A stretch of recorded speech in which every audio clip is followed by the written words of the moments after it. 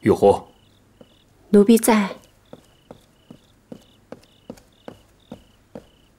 朕要你查的事情，别再查下去了。皇上有难处。是。皇娘也不赞成再查。后宫的水太深，一脚就浑了，还脏着了您。朕有两件事情要你去办。佳嫔住在真香馆，朕要你亲自照料佳嫔，直到生产，母子平安。奴婢会的。第二，在冷宫里，都是历代被遗弃的嫔妃。好歹都是宫里人，朕不希望有人死在里面。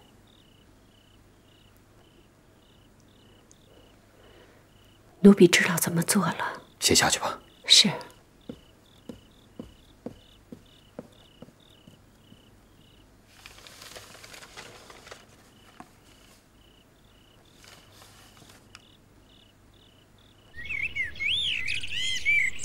臣妾就按皇上的旨意。将永璜挪去钟粹宫，再将乌拉那拉氏移去冷宫。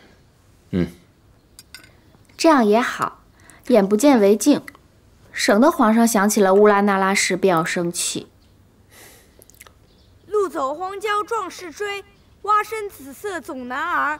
拔山扛鼎星河报，持剑辞追志不移。天下不闻歌楚歇。帐中唯见叹鱼溪，是永璜吧？故乡三户中何在？千载无疆不喜悲。锦州，叫他进来。这。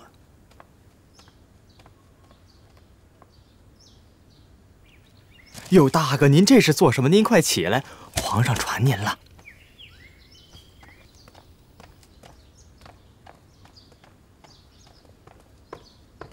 儿子请皇阿玛、皇额娘安，请圣常在安。越发的没规矩了。永璜，皇子与公主待庶母皆以娘娘相称，你对慎常在也不唤句慎娘娘，实在是疏忽了礼数。臣妾原是伺候大阿哥养母的宫女，大阿哥不肯按规矩称呼，也是情有可原的。儿子是母亲细心抚养，从未教坏过儿子，更未怂恿过儿子。今日儿子背诵的御诗，乃是母亲亲口教导。母亲时时刻刻把皇阿玛放在心上，怎么会残害皇阿玛子嗣？还请皇阿玛明察。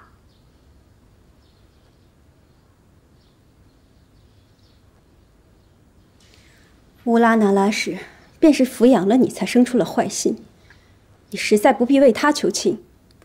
大阿哥，乌拉那拉氏疼您，只是想借您邀宠夺嫡。您被利用了，还蒙在鼓里呢。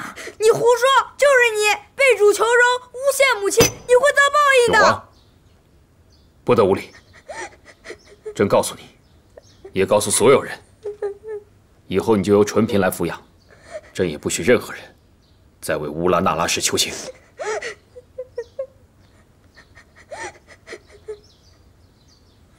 李玉，带他出去。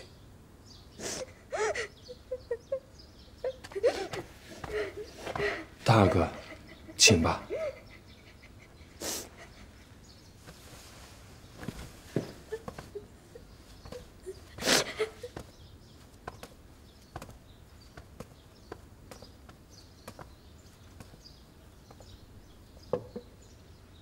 皇上的安排真是妥当极了。贵妃有家室，若是由她抚养大阿哥，又生出夺嫡的妄念，就坏了。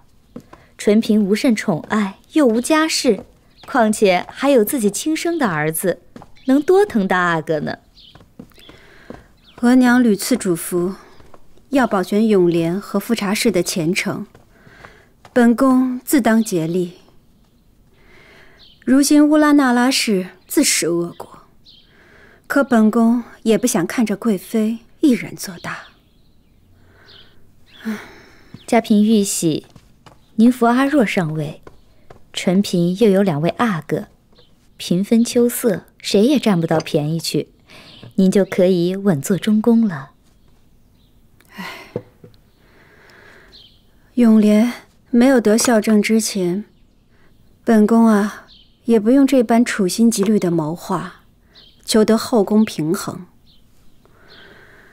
可如今，永莲得了这个病，本宫不得不处处小心。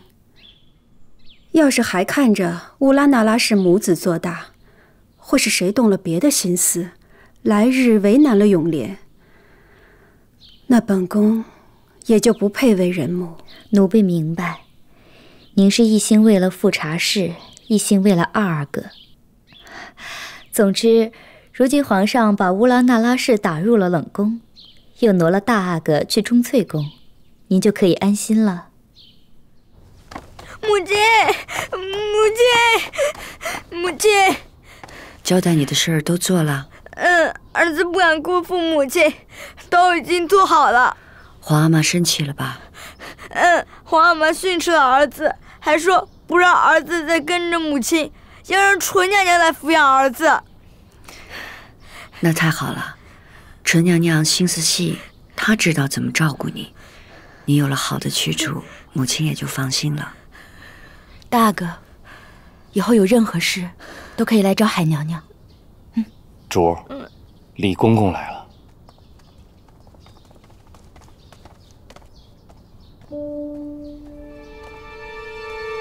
皇上口谕。